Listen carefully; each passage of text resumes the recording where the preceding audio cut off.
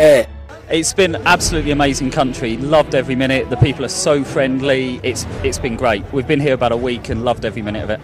How do you see in this competition to uh, participate? Um, so this is the first ever run I've done. I've never done a 10k, 5k, anything before, um, and this is a great place to start. Um, it was well organised. People were friendly. Um, it's just been perfect. Many people to live in all over the world they do not know the Somaliland. And uh, what do you like to uh, send a message?